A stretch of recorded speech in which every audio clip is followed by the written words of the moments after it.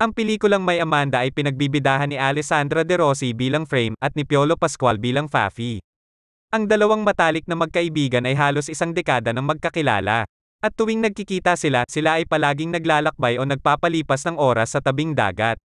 Habang sila ay nasa labas para mag-stargazing, sinabi ni Frame kay Fafi na siya ay ikakasal na. Gusto niyang mangako si Fafi na manatiling isang kaibigan kahit na may asawa na siya. Kahit anong mangyari. Depende sa'yo yan. Ikaw nang magkakaroon ng bagong pamilya. Ilang araw ang nakalipas muling nagkita ang dalawang magkaibigan. Sinabi ni Frame kay Fafi na nagkahiwalay sila ng nobyo niya.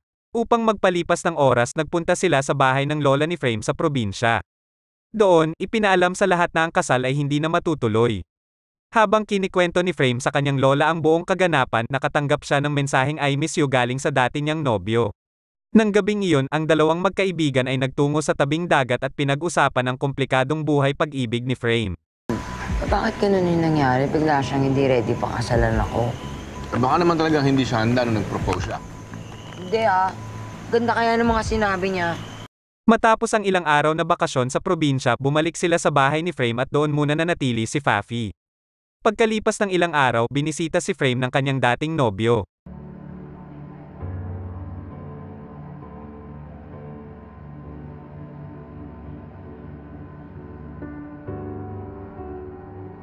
Ilang araw ang nakalipas, nagkita ulit ang dalawang magkaibigan para ipagdiwang ang paparating na kasal ni Frame.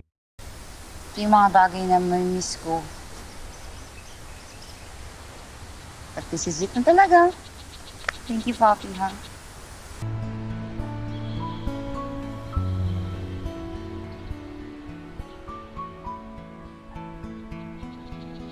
Ilang buwan pagkatapos ng kasal ni Frame, binisita siya ni Fafi sa kanyang bahay. Naglakbay sila sa isang malayong lugar upang magpalipas ng oras. Sinabi ni Frame kay Fafi na iniwan siya ng kanyang asawa. Buti na lang hiniwalayan ka. Dahil hindi mo naman siya hiwalayan kahit saktan ka niya eh. Anong gusto mo maging battered wife? Kinabukasan, nakita ni Fafi na nasa sahig si Frame na walang malay. Dahil sa pangyayari, nagpunta sila sa ospital para magpasuri at dito na pag-alamang buntis si Frame sa kanyang asawa.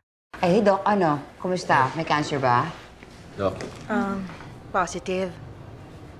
Habang sila ay nasa ospital, ipinakita ni Fafi kay Frame ang larawan ng kanyang bagong nobya. Ilang araw ang nakalipas muling nagkita ang magkaibigan. Malaki na ang tiyan ni Frame. Sa pagkakataong ito, sinabi ni Fafi kay Frame na nakipaghiwalay siya sa kanyang nobya. Hindi nga, ano nga, sobrang okay nyo. Anong nagbago? na.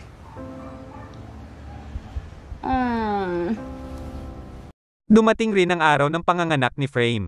Makalipas ang maraming oras na paghihintay, lumabas ang doktor sa silid at may sinabi kay Fafi. Tumakbo siya papunta sa silid ni Frame.